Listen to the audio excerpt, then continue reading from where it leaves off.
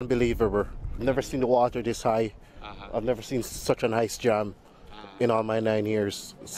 湍急河流夹带浮冰，高度就快要超过横越河岸的桥梁。市区内到处淹水，政府出动抽水机，马不停蹄运作。一项一辆箱型车被冲到河水当中，结果一位三岁的大男童因为没有乘坐安全座椅被冲出车外，目前下落不明。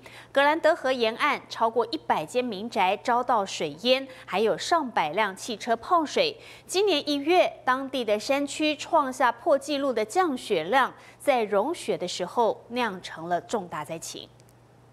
而印尼中爪哇省北。